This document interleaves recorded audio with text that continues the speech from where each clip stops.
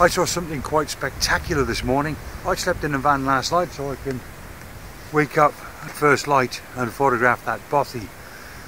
And to my delight when I opened the window I could see a stag just stood there. I think it was calling out, I'm not quite sure.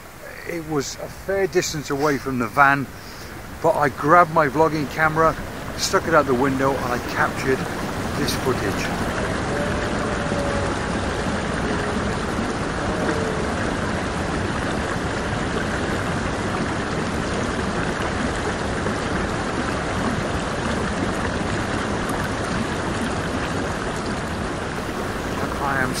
So, so excited.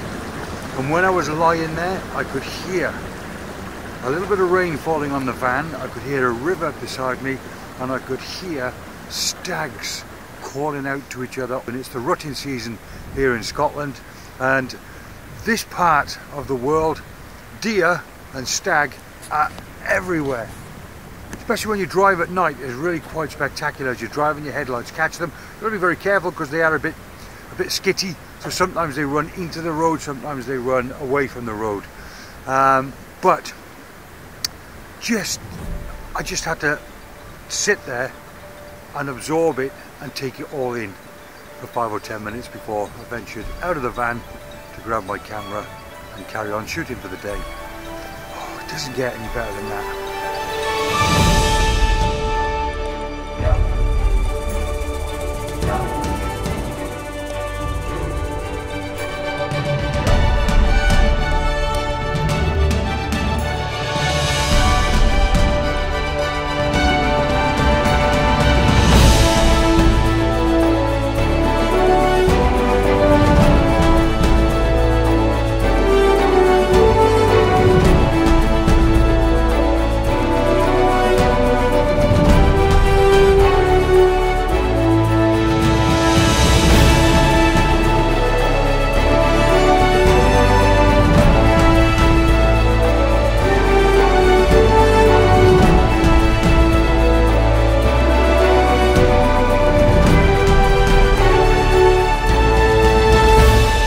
Hi guys and welcome to this week's video.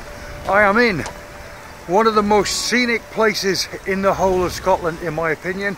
It is definitely the prettiest loch and that there is the nicest bothy to photograph in my opinion. I came here, I think I was up here in January and we photographed this particular area. Uh, we spent a good couple of hours here but I've decided to come back. A, because I want to see that again. Oh, it's just awesome. But B, I want to challenge myself because it's good to do that. I want to challenge myself to see if I can grab something a little bit different. Before I grab something a little bit different, it's really important though that you grab the A1 shots because every time you come here, something will be different. I mean, in January, for instance, we could see all the mountains in the background. Today you can't, and they were all snow-capped. And today, I'm guessing they're not, although I can't really tell because I can't see them. So what I'm going to do is vlogging camera in hand and I'm going to go for a big sweep of the place. Um, I'm going to look at angles that you don't see online. I'm going to look for, uh, you know, maybe oddball angles. Let's look down here. We've got some oddball trees. We've got trees up there. We've got a mountain top and a river up here. So I'm going to look for all those different aspects that maybe I could put in the foreground to add a little bit of interest. Something just maybe that'll make my picture a little bit different. But even if it doesn't, even if it's not as good as the original, it doesn't matter. A, I'm damn well enjoying myself, and B, who cares? I'm only doing this for me anyway. Who cares? Right, so this is the challenge. So I'm going to try something a little bit different. I never do this. Normally I get so excited I just take pictures and then take more pictures. But because I've been here before, I'm going to scout the place out. I'm going to grab my vlogging camera that's got a lens on it, 16 to 45. Uh, on a crop sensor that's roughly 24 to 70 roughly well I shoot with my 24 to 105 mil lens all the time anyway I never go wider than 24 mil so this will give me a good um, idea of what my pictures could look like when I'm out and about with my big camera. I'll wander around and I'll take little video snippets of what I think potentially could be uh, a good image and then I'll show you the pictures that I actually took and let's see if you agree with my favourite compositions from around this loch.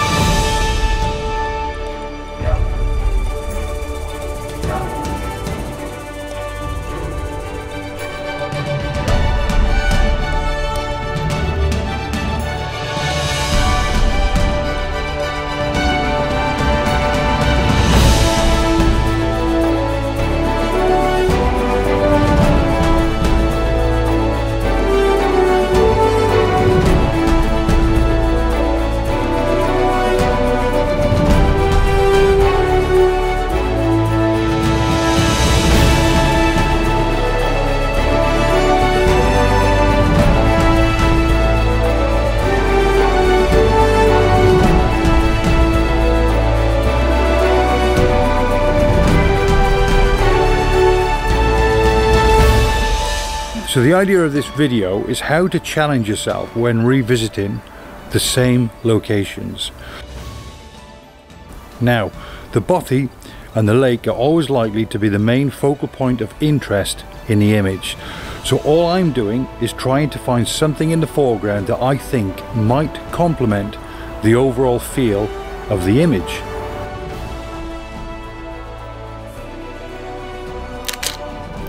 I didn't take any pictures with my vlogging camera, just video, but I'll take snapshots from the video just so you have an idea of what I was looking for while searching for compositions.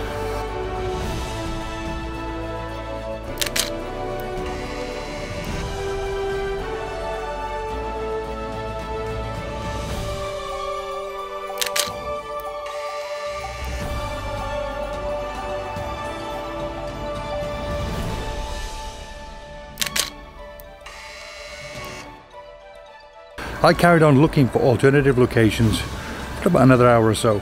Sadly, the heavens opened again and again. In the end, I had to abort the location.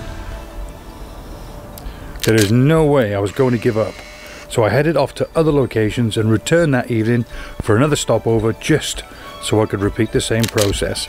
Things, on the other hand, didn't quite go to plan.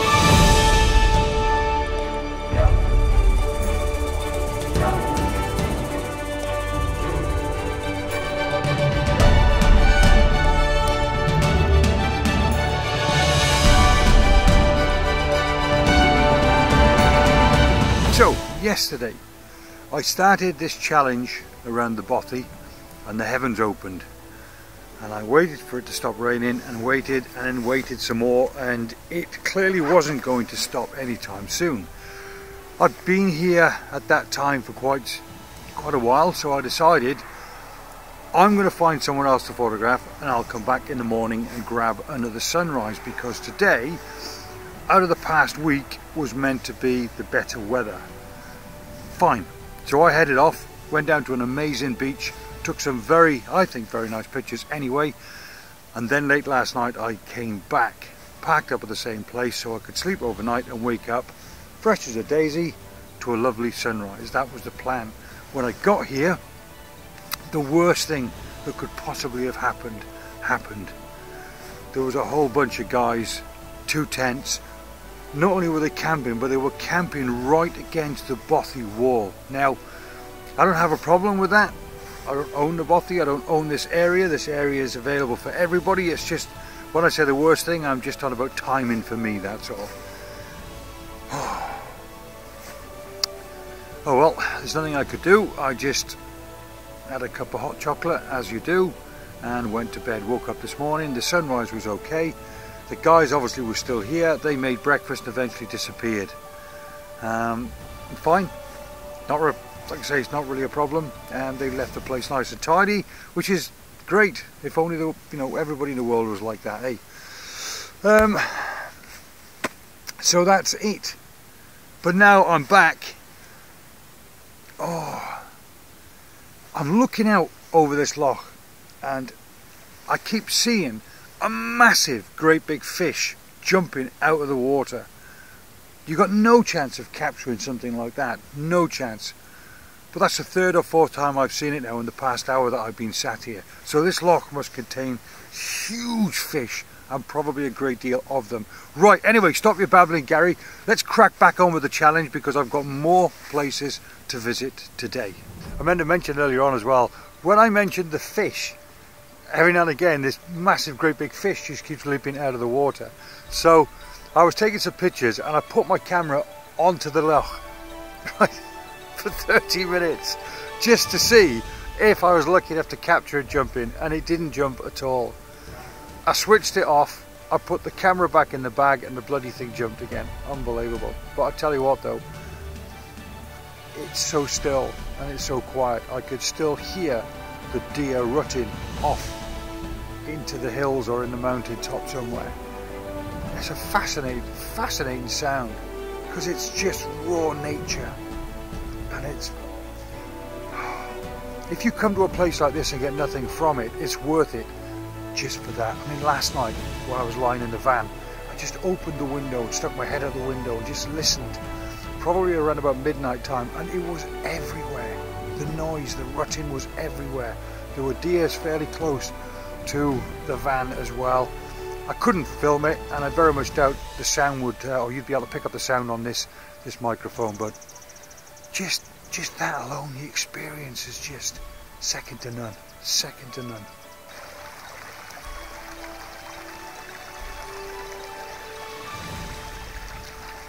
Thankfully, the weather played ball and I was able to carry on with my challenge. I'll show you the best of the alternative location pictures in a couple of minutes, but in the meantime, I've got a little housekeeping to do. Come on, don't tell me you don't do this as well. If money was no object, I'd be living there. What a fantastic, fantastic house. I don't know if it's a hotel or a, or a house, but look at that. A river probably teeming with salmon. Not that I'm a fisherman in any way, shape or form. And up there, that house to die for. If money was no object, when you came on one of my workshops, if you did, that's where you'd be meeting and greeting me on a morning. Ooh, how the other half live, eh? And while I was taking some B-roll, I just noticed something really, really cool. Come and take a look at this.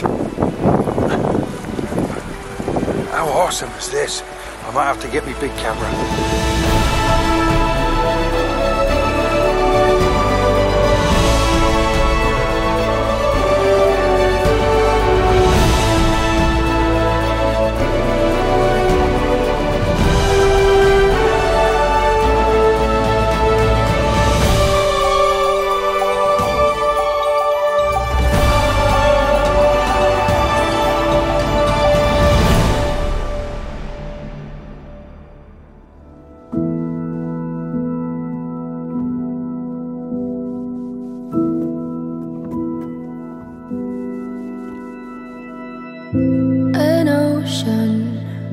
a cave. A dream that no one could save. A shelter A whole act. A light that died with the night. You and I We got our differences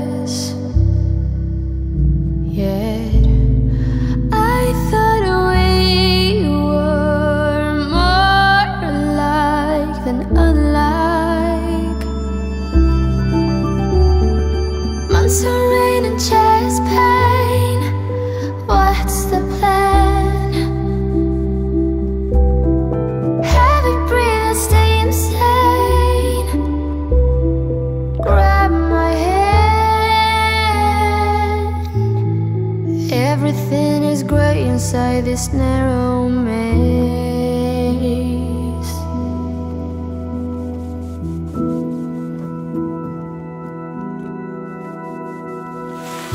We speak, but oh, nothing.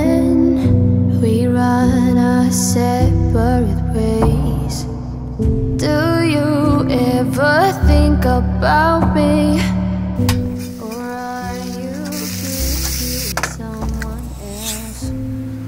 But I haven't got HP.